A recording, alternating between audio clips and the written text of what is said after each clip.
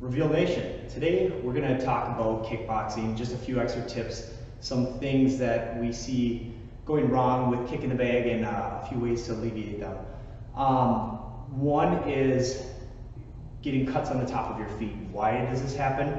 It's mainly just the friction caused by the foot coming up on the bag a little bit. Remember, we want the, the shin coming into the bag and we want it going straight into the bag.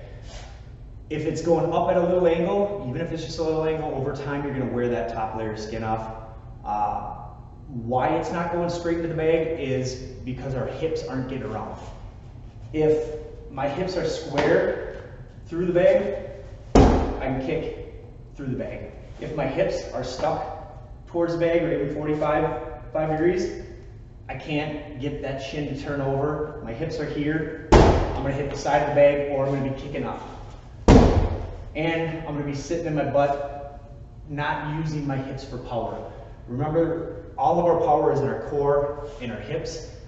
Um, one of the biggest ways to help get the hips all the way around is just adjusting our stance a little bit. So if the bag was straight in front of me, where I'm jab crossing right in the middle of the bag, all I would want to do is take six or eight inch step to the right if we're doing right rounds. I don't want to turn towards the bag, I just want to keep my stance straight ahead. That way when I pivot and turn, I can get my hips all the way through. Once you get the balance down and the timing down, you can stay in the middle and you can still get your hips all the way through the bag. Um, remember our round is derived, the power is derived from our knee driving up towards the bag, not from on the back foot, swinging the baseball bat. We want to drive the knee up as we drive the knee up, the hardest thing for people is that foot.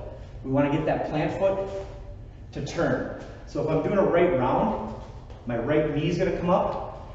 That left foot is going to turn towards where I want to kick. That's going to help my hips spin over.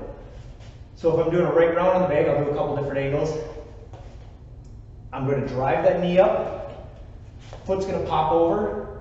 I can extend my leg and extend my hip. I want to squeeze my glute and I want to twist my hips through to deliver all that power from the midsection, from the hips, from the core, all the way through to that shin. I want to snap it all out as I snap my hips straight, snap my legs straight.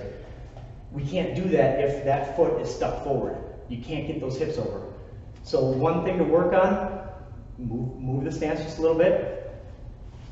So if I'm straight here, just move to the side a little bit.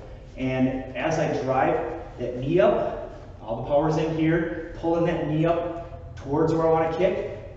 That foot, that pivot foot, should be able to turn. The hardest part is just going to be the balance. That, that if it's the left plant foot, the left glute's going to have to help balance. My upper body is going to fall away a little bit. Because where I don't want to be is sitting in my hips. So if I'm going to do a left round, pivot a little bit.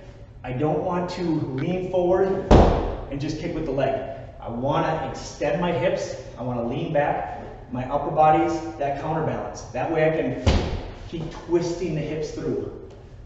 So as the knee drives up, I twist. What I don't want to do is leave my butt sticking out. I want to extend my leg and then extend the hip. That's going to get all the power. You're going to feel your core tighten up. You're going to feel your glutes work. You'll get your hips all the way through. And again, if you get the hips turned over, kick it straight to the bag, you're not going to have problems hitting your feet. You're not going to have problems uh, with your feet rubbing the wrong way. And you're going to get the most out of that roundhouse exercise. So really focus on driving the knee up. Just think if, if you were standing here and you had to kick me, you wouldn't want to get on that back foot and then try swinging. I would just take a step back. So think of the fastest way. Driving the knee up and then letting that rest of the body just twist. So let that backhand stay back, let those hips come through, and use your whole body for that round. Get more out of that round. There's not one person here that does a perfect round, me included. So hopefully you can use these couple tips to adjust a few things.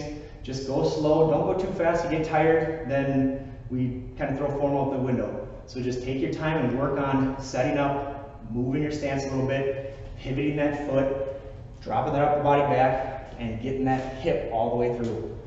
That's just a few little tips on the round. Give it a shot this week. Try and prove one thing at a time.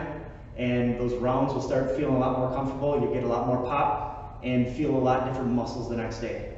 Any other questions, just grab one of us before or after class. We're happy to help. Have a great day.